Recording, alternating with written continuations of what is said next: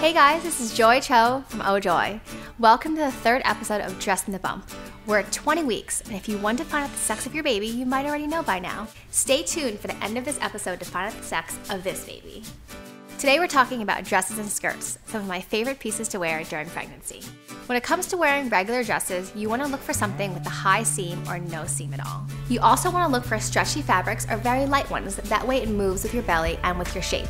Belts are a great accessory and help to emphasize the smallest part of your torso, the high waist. If you have a dress that's a little bit loose in the waist area, a belt helps to make it more flattering. Now, when it comes to the length of dresses, I recommend sticking to below the knee. While you might love an above the knee dress normally, keep in mind that as your belly grows, you don't want to show off too much.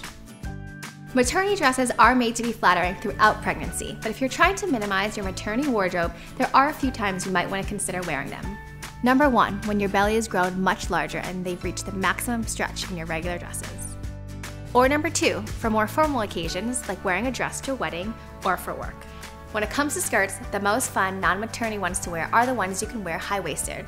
They're super flattering and emphasize the bump. The best ones are light and flowy and conform nicely to the shape of your belly. This skirt, for example, normally would be worn low when not pregnant, but when wearing as a maternity piece, you can wear it high waisted, it emphasizes the waist, and looks really great with a shirt tucked in. You can also try one with very thin pleats because it's super flattering and shows off really beautiful detail. Just like maternity dresses, a maternity skirt will last throughout your whole pregnancy. It's super stretchy, you can wear it low below the waist, or you can wear it high for extra support. In general, you always want to buy your pre pregnancy size. Don't ever buy a size up. The only thing you should ever alter is the length of a dress or a skirt. If you need to change anything else about the size, then it's not the right piece for you.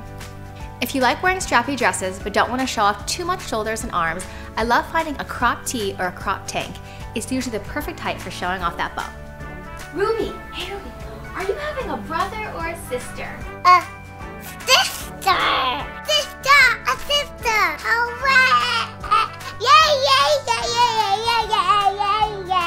Thanks so much for watching this episode of Dressing the Bump. If you have any comments or questions, please leave them below. And please subscribe to the OJoy YouTube channel for more videos.